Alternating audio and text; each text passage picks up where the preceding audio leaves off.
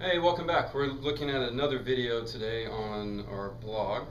Today I want to show you just point of reference in terms of how big vertebrae actually are on our on our typical patients.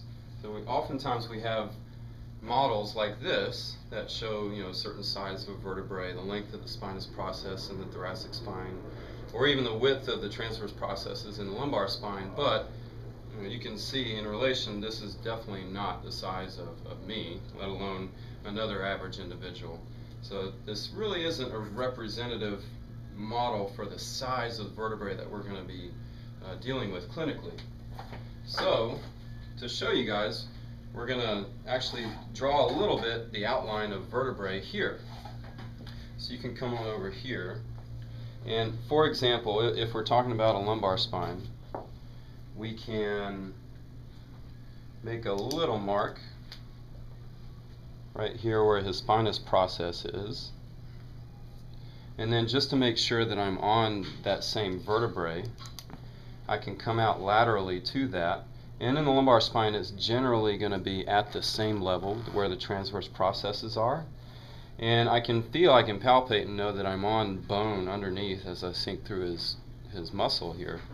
But just to make sure that it's on the same level, I can palpate at the spinous process and as I push down on one side, I should be able to feel that bone move if I'm on the same level, in which I do feel movement there. If I go down to a different place, I don't feel movement there.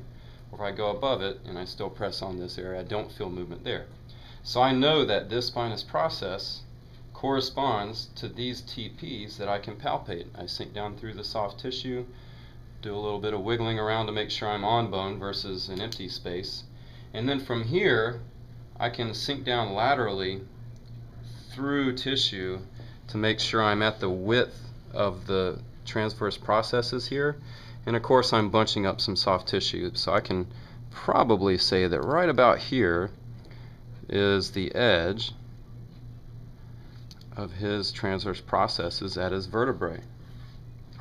So if we basically draw a little bit, it's about at the same level as the spinous process here, that's the width of his transverse processes.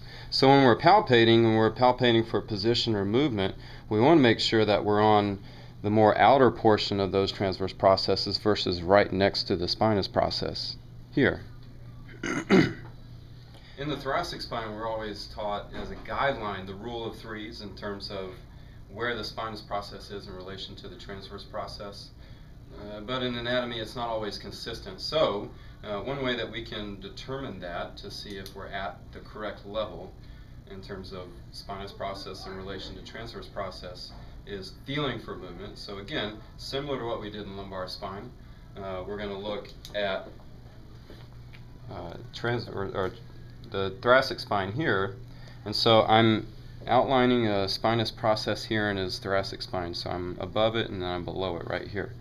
So this is his spinous process there. Now, in general, at, I know at least that the in this part, his mid-thoracic spine, I know that the transverse processes are going to be above this area, but I'm not exactly sure how far. So what we can do is come from here out and again like I did in the lumbar spine feel around for transverse processes. Do our wiggling around wiggle wiggle wiggle. And once I feel like I'm on a transverse process there I can see by coming lateral to this spinous process I can see when I push this spinous process to the right do I feel movement occurring under this thumb and so as I do that, and I push this way, do I feel that movement occurring? If I do, then I know that I'm on the right level.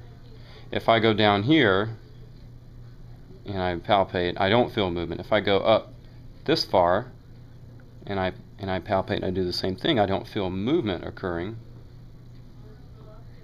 So that I know that I was right in the first place here.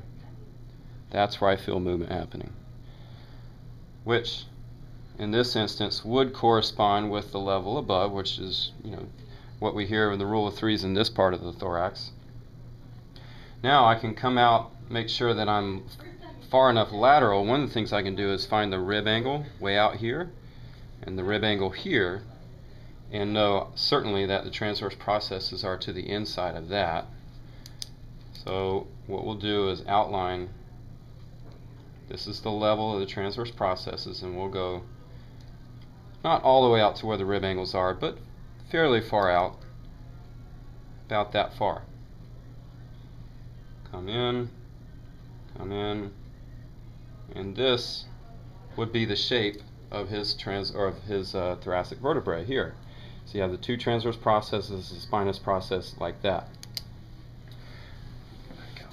So certainly not quite the same size when we compare the model, especially in the thoracic spine, in terms of the width and the length of the spinous process. And in this case, our patient here, he's an average sized guy. He's definitely not your tallest patient either. So when you get somebody that's a bigger body type, this is going to be much different than what you see on a typical model. Keep that in mind again, when you're palpating for movement or position, position motion assessment, that that's going to be a difference. And especially in the thoracic spine, we don't always go by the rule of threes because that can be slightly different. What you want to do is you want to palpate, feel for movement like we did here, and that'll give you much more accuracy in terms of your palpation. So try this on yourselves, on a friend, on your partner, and you'll be uh, slightly amazed in terms of how big vertebrae actually are. So let me know what you think on blog. Reply, give us a comment here or there, and uh, we'll keep posting different videos. Thanks.